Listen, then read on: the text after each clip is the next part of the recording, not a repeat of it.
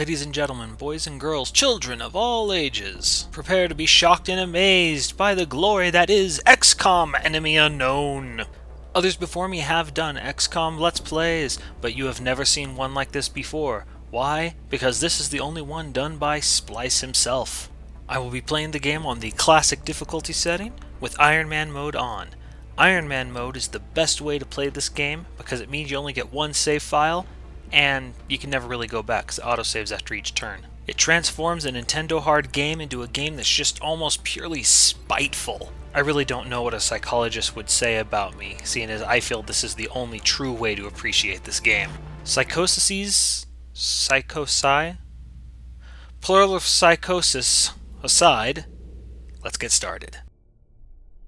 With Splice strategies now underway, let me explain where my soldiers' names will be coming from. I have modded the game so that all the names come from Quark, my college sci-fi fantasy club. So when soldiers die in this game, it's not just some random dude from Mozambique, it's someone I in theory know and love. This is why I'm an awesome friend. Oh yeah, this thing just fell from the sky, was burning up, is glowing green, and you wanted to touch it. That guy was a Darwin Award candidate if I've ever seen one. Natural selection at its finest for sure. So now everyone's wrapped up like a green burrito and the aliens are ready to take them off for abduction and probing. Have fun, guys! In the meantime, I have to have a meeting with Lex Luthor here. Hello, Commander. Hello, President Luthor. In light of the recent extraterrestrial incursion, this Council of Nations has convened to approve the activation of the XCOM project. Seems legit. You have been chosen to lead this initiative. Sounds like the hiring process wasn't selective enough. First and last line of defense. Humanity's in trouble Your then. efforts will have considerable influence on this planet's future. Kind of goes without saying. We urge you to keep that in mind as you proceed. And cue up the dramatic chords.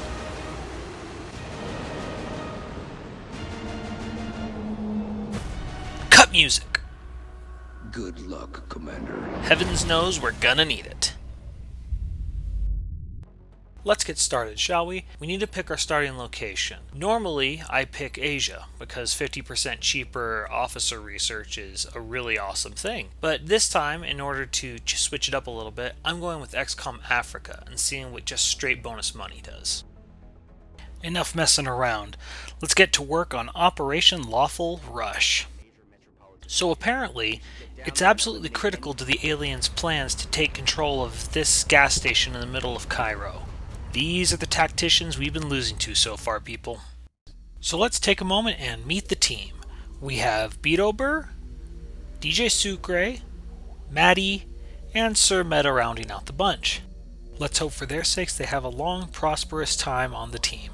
For those unaware of the mechanics of XCOM, this is just a normal abduction mission. In an abduction mission, the goal is simply to kill all the aliens. Aliens typically run together in small groups of two or three. Until the aliens have seen you, though, the aliens cannot fire. Once they've seen you, though, they will immediately seek cover without firing upon you. For this reason, it makes sense to walk along the wall as one solid group, staying near enough to the wall that you won't accidentally trigger any groups that are far away, but staying close enough to cover so that if aliens do walk into your group, you'll be able to retreat to the safety of hard cover. And wouldn't you know it, it's not long before we have visitors. Unfortunately for the aliens, we don't take too kindly to uninvited guests. Four shots and only one connects. Yeah, that, that sounds about right for XCOM. But DJ Sucre did kill the first alien of the campaign, and thus he wins the Will Smith Welcome to Earth Award. Good job, Sucre. So the trick here is, while there is a lot of heavy cover, there isn't a lot of heavy cover that offers firing lanes towards the aliens. What heavy cover there is is also problematic. This gas tanker I'm moving Maddie and Beto Burr up to, while providing full cover, is also very explosive, and thus an issue. DJ Sucre, already having gotten one kill, I'll use both his moves to get him up to the supply closet, thus putting him in good position to be able to get up to the roof next turn. With the other three in position, I move Sir Meta up to the truck. Sir Meta is going to be the anchor that keeps the aliens in place. I'll put Sir Meta into Overwatch while putting Beto Burr and Maddie into Hunker Down. Hunker Down will make them harder to hit, and thus the aliens will be less likely to actually take a shot at them and indirectly hit the gas tank. As predicted, the alien shot at Sir Meta instead of Beetober and Maddie. Unfortunately, the other went into Overwatch, making it so that we can't advance. We'll have to kill that alien to improve our positioning. But that'll be difficult as no one has a good shot at him. Luckily for us, there's a solution. Military grade explosives plus pinpoint grenade throw control can solve a lot of problems.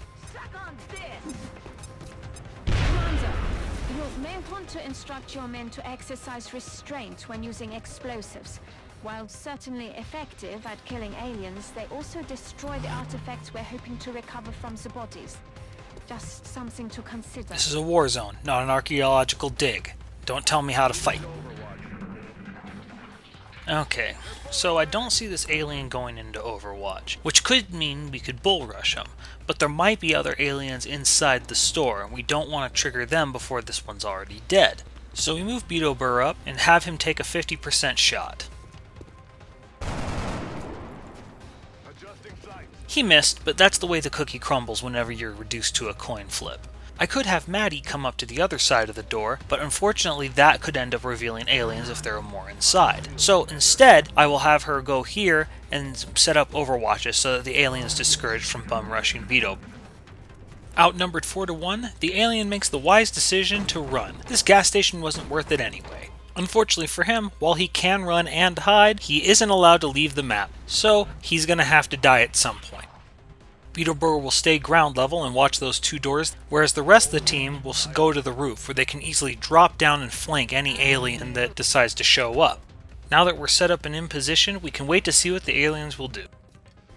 Apparently I was too quick to compliment that one alien because he's decided that yes, this gas station is worth dying for. And just his luck, Beetleburr is more than willing to oblige. And with that, everyone on the team but Sir Meta has a kill, and the first pack of aliens is dead. With the first pack gone, it's now time to search for the rest of the aliens' elite gas station defense team.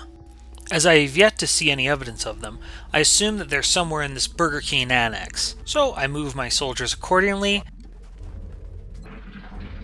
And of course, it turns out they're somewhere back here.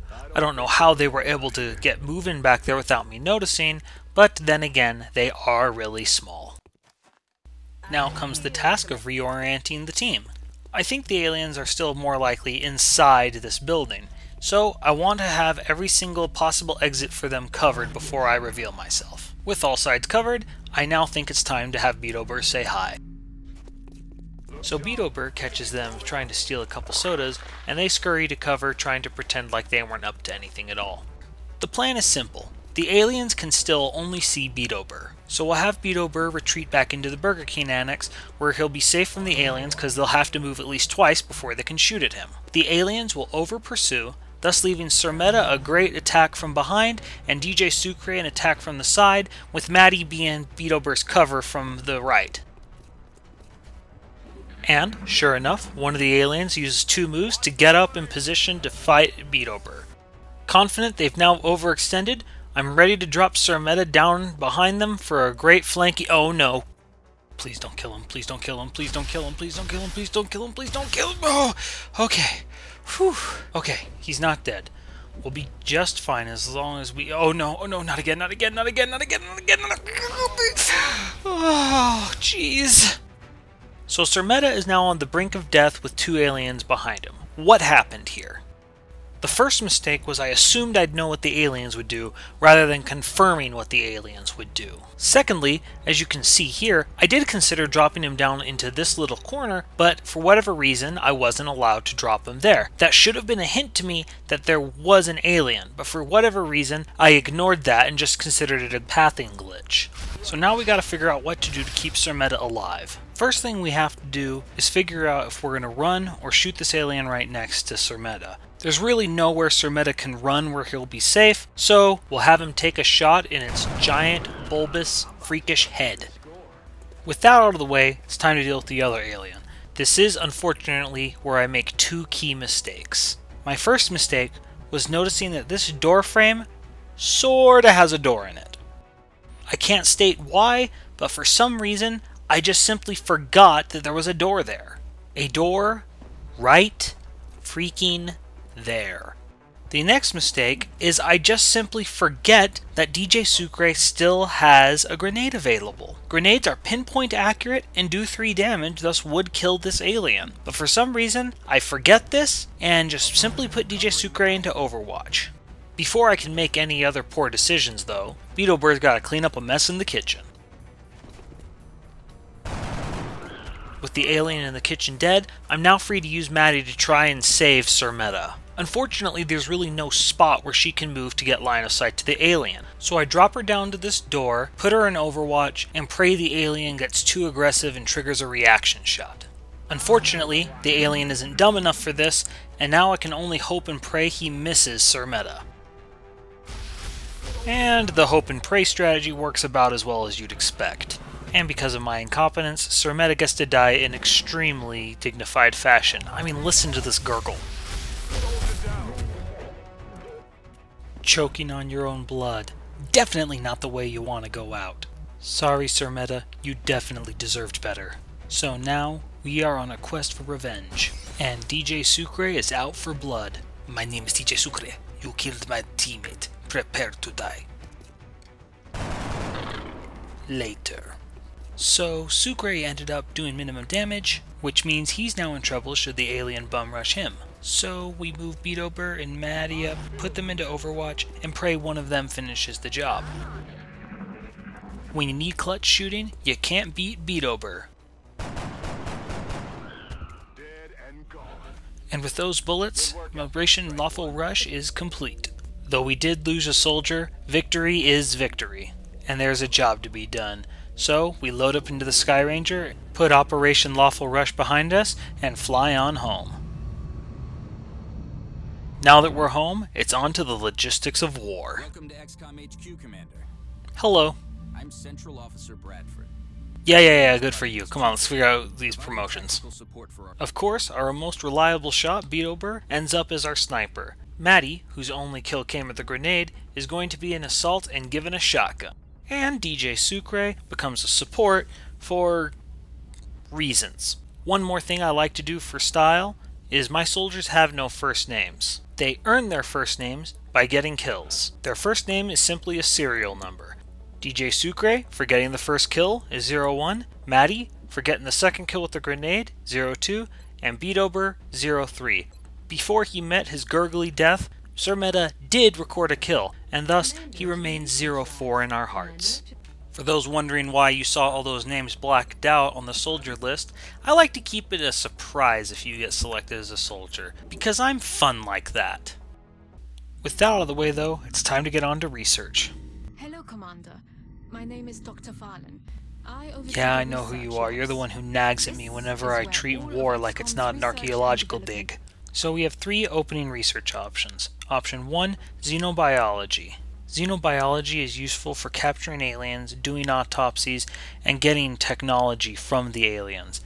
Weapons fragments is the path that we take to get to cooler weapons, and alien materials is what we do to improve our armor.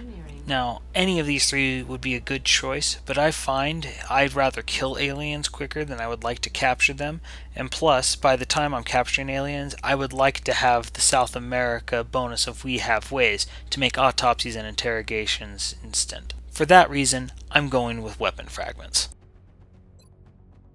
Commander, I realize our troops have to put their own survival first, but Every alien we use explosives against is one less Oh my goodness, are you still complaining about the grenades? That's it, I'm going to engineering where I don't have to hear people whine at me. Ah, Commander. I was wondering when you'd be stopping by. Welcome to engineering. Couldn't get here soon enough.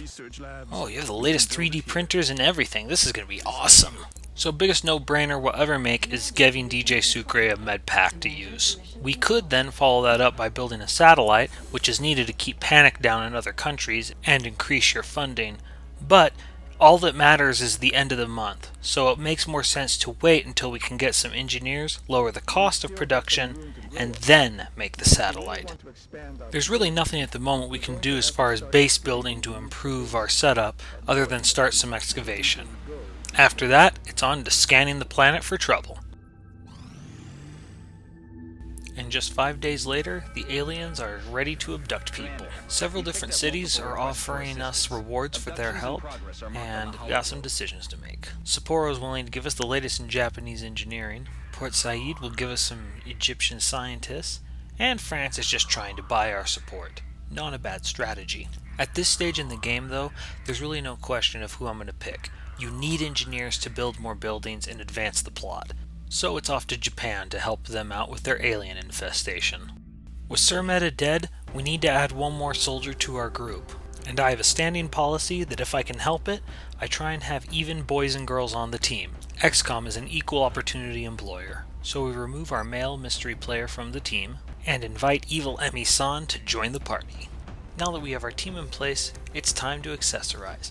I have the Elite Soldier Pack, which allows you to much further customize your soldiers. So my standing policy is, once you get a promotion and are in a mission, you get customized. Before we start playing dress up though, we give DJ Sucre his med pack, just to make sure that we can stay healthy on this trip to the danger zone. After that, there's really no question what we're to make DJ Sucre look like. We give him his hat and make him green just like his homeboy Luigi.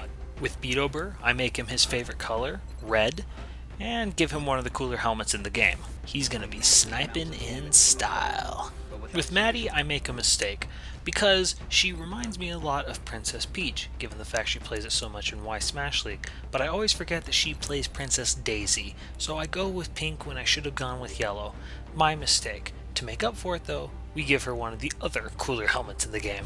With all my toy soldiers set up, it's time to send them off to war.